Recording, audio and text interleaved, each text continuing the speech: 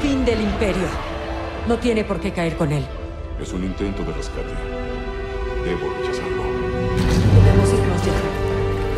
Max espera que me vaya también. Pero este es mi lugar. Entregué mi vida al imperio.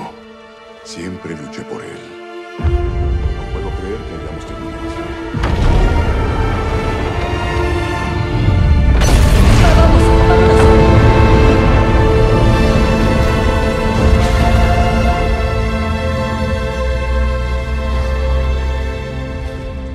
Viste la debilidad del imperio. Y no permitiste que te consumiera. Eso te hizo más fuerte.